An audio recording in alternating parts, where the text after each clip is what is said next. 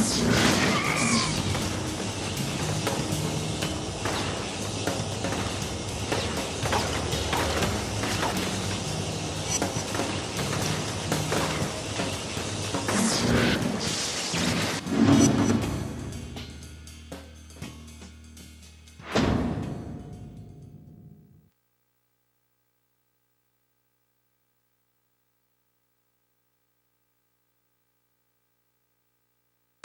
continue to astound me, my love. I can't wait for the whole world to see what we share, what we're capable of.